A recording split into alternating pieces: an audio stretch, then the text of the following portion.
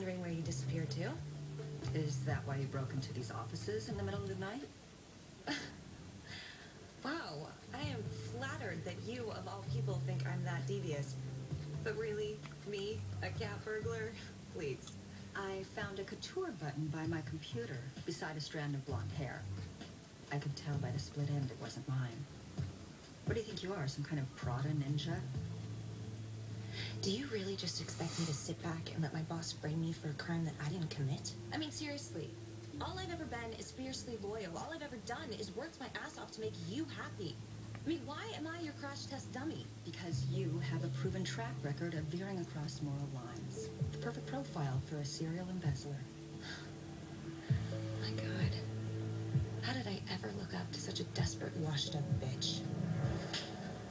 Get out of my building. You're fired.